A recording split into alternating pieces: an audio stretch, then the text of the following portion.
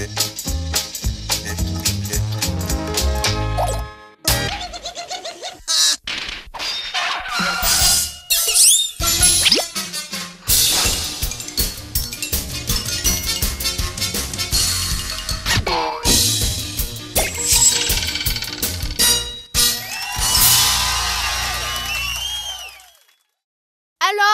chị Vân Trang hả? Xấu đây. Alo, Sáu hả? Em gọi chị có gì không? Hôm nay em muốn tham quan rừng thuốc. Chị Vân Trang rảnh dắt em đi tham quan với. Bây giờ hả? Liền luôn hả? Không được, bây giờ chị Trang bận rồi. Phải hai tiếng nữa được không? Chị Vân Trang cứ làm việc đi. Em đi một mình cũng được. Chào chị Vân Trang. Vậy tự mình đi thôi. Cúc cu, cúc cu. Chim rừng ca trong nắng. Im nghe, im nghe. Về rừng trên cành biếc. Không ngờ, khu rừng này rất nhiều cây thuốc. Ủa đằng kia có ngọn núi. Mình phải lên đó mới được. Wow, quá hùng vĩ View nhìn xuống đẹp quá Chụp từ sớm nào à, Điện thoại rơi xuống rồi Mình phải xuống lấy mới được Chết tôi rồi Mẹ ơi Cứu con Ôi, trời ơi, gọi điện thì không bắt máy. Em ở đâu rồi Sáu ơi? Sáu ơi, em đang ở đâu? Em đang ở đây nè Sáu ơi, em bị sao vậy? Sao em, sao em lết lết tới đây vậy?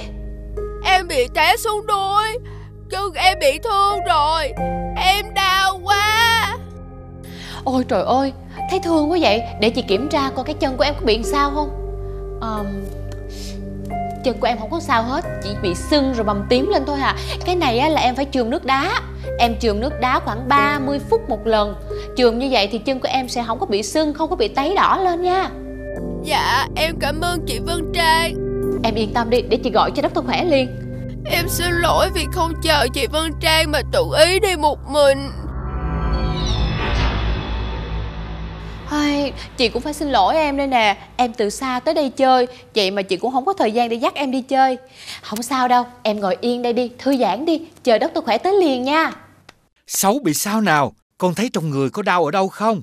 Dạ không, con bị trợn chân Nên chân còn đau thôi Vết thương xử lý khá tốt, chỉ bị sưng và bầm nhẹ. Đình lịch, con mau lấy nước sắc lá đình lịch để ta rửa vết thương nào. Yeah, con ngay giờ luôn Con đã chuẩn bị nước sắc và hỗn hợp hạt đinh lịch rồi Ta lấy nước sắc lá đình lịch, nhẹ nhàng rửa sạch vết thương, sau đó dùng hạt đình lịch đã ngâm nước nóng trong khoảng 40 độ để trong vòng 5 phút, dùng hỗn hợp đắp lên vết thương. Dùng băng cố định lại để thuốc không bị rớt ra. Ê, vậy là yên tâm rồi Có đình lịch giúp em xấu Em không cần phải lo gì hết À nhưng mà chị Vân Trang dặn nha Nếu như mà chân của em có cái gì đó không ổn Nó nó bị nặng hơn Thì em nên tới bác sĩ thăm khám Để có thể điều trị kịp thời nha. Dạ em nhớ rồi ạ. Vết thương của em đã đỡ đau rồi. Sáu cảm ơn doctor khỏe chị Vân Trang. Và bạn Đình Lịch nha. Ừ, hay quá Đình Lịch ơi. Chị không biết là ở trong em có những cái thành phần nào Mà có tác dụng hiệu quả tới như vậy. Em hãy chia sẻ cho chị cũng như là quý vị được biết đi. Trong em có dầu béo, alkaloid, kháng viêm, giảm vi khuẩn, giảm đau ngăn ngừa sưng viêm Vitamin A, vitamin E, vitamin C giúp kích thích hệ thống miễn dịch trong cơ thể. Từ đó, nó đẩy nhanh tốc độ phục hồi và kiểm soát tình trạng viêm nhiễm trên da, giúp vết thương nhanh lành hơn và cải thiện làn da. Lưu ý, em chỉ dùng để đắp ngoài chứ không được ăn hay uống Vì em có phản ứng với niêm mạc dạ dày Sáu ơi, em hãy nhớ phải nghỉ ngơi đầy đủ, phải ăn uống đầy đủ nhiều dưỡng chất vô để có thể mau lành vết thương nha. Cảm ơn Đốc Khỏe, cảm ơn Đình Lịch ngày hôm nay đã cho chúng ta rất là nhiều những thông tin bổ ích. Còn bây giờ thì thời lượng dành cho chương trình đã hết rồi. Vân Trang, Đốc Khỏe, Đình Lịch và cá sấu xin chào tạm biệt và hẹn gặp lại vào chương trình lần sau. Bye bye, bye.